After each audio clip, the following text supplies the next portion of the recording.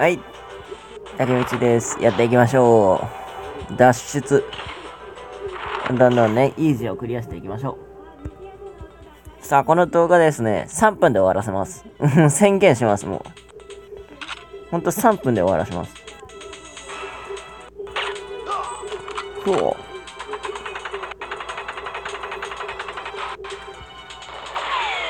ほんとそれぐらい簡単なんですよ、ここは。あら、お邪魔します。お邪魔しました。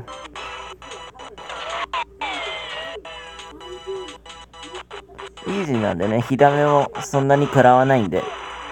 あ、3分もかからん、もしかしてこれ。いや、ダメージ食らったってええんだ。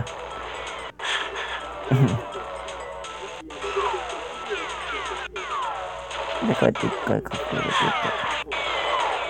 邪魔じゃ、この野郎。で、お疲れさんでした。3分もかからなかった。1分で終わったよ。